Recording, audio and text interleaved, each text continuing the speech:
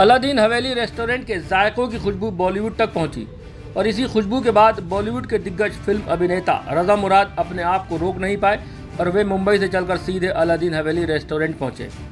उन्होंने वहाँ के लजीज खानों का लुत्फ उठाया और खाने की काफ़ी तारीफ़ की।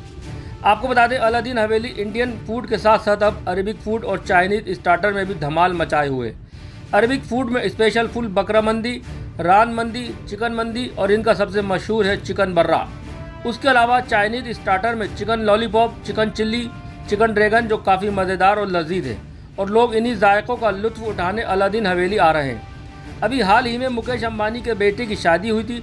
उस शादी में भी अलादीन हवेली के कुछ शेफ वहाँ गए थे और उन्होंने वहाँ कई डिशें बनाई थी, जो वहाँ पर लोगों ने काफ़ी पसंद की थी।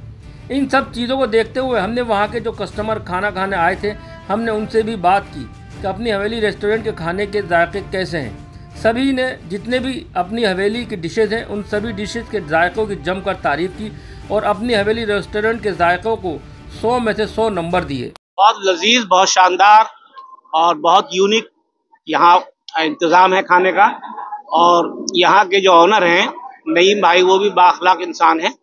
उनके अखलाक और मोहब्बत का नतीजा है कि आज अल्हम्दुलिल्लाह उनका ये होटल नहीं, कई होटल, इस तरह के कई होटल उनके चल रहे हैं रामपुर में और शायद दीगर और जगहों पर भी शायद उन्होंने होटल खोले हैं। बहुत शानदार खाना है। क्या क्या देंगे? भाई इनको तो सौ में सौ ही देंगे हम वाकई। क्या कहेंगे सब खाने खाया माशाल्लाह से बहुत अच्छा लगा।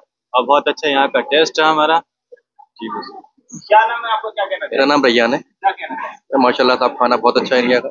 बहुत कुछ अंतर है माशाल्लाह फैमिली का बैठने का सीटिंग का प्रोग्राम अच्छा है सारा सब कुछ अच्छा है। खाने का टेस्ट भी अच्छा है माशाल्लाह। क्या अपील सब माशाल्लाह यहाँ पर आए सब लोग और सब लोगों को लेकर अपनी फैमिली को लेकर आए। फैमिली की सीटिंग वगैरह बहुत अच्छी है, माशाल्लाह। एंजॉयमेंट करना है, खाने का एंजॉयमेंट करना है, बैठने का है। एक तरीके से छोटा सा मिनी रिजॉर्ट भी है ये। बच्चों को लोग लेकर आते हैं, यहाँ पर इंतज़ाम हैं। बच्चों के खिलौने के हैं, फिर धड़ फिसलन है। और भी तमाम यहाँ पर फैसिलिटीज़ है। हरी हरी घास में, खुले आसमान के नीचे बैठ करके लोग खाना खाते हैं तो बड़ा लुत्फ आता है। भाई चिकन का आइटम वही, वहीं जाना चाहिए जहाँ पे बेस्ट बने। सबसे अच्छी बात यह है, करीम हवेली या अलादीन हवेली या इनके जो भी जितने भी होटल्स हैं, उन सब का जायका नंबर वन